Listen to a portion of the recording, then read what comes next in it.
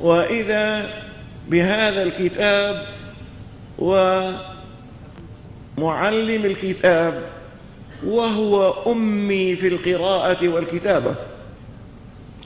وإذا به يجعل من هذه العشائر الجاهلة الأمية الخرافية المتعادية المتقاتلة يجعل منها خير أمة في الأخلاق وفي العقل وفي العلم وفي الحضارة وفي التقدم وفي الغنى وفي الوحدة وفي الإنسانية.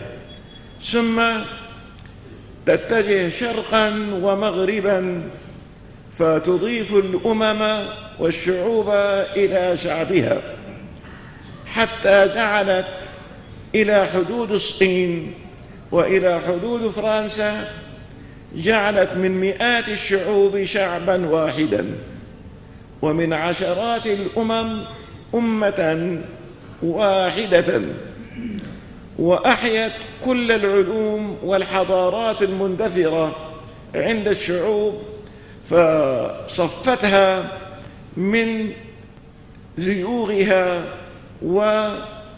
وباطلها وصاغت منها فكرا وحضارة وثقافة تحقيقا لقول الله تعالى ربنا آتنا في الدنيا حسنة الحياة الحسنة في الدنيا جسدا وحياة وصحة وعلوما وفي الآخرة حسنة حياة الروحية أخلاقا وربانية وترفعا عن المادة اتجاها للمعاني والعلوم والأخلاق والفضائل والإنسانية حتى استطاعوا أن يوحدوا نصف العالم القديم وبأقل من مئة سنة.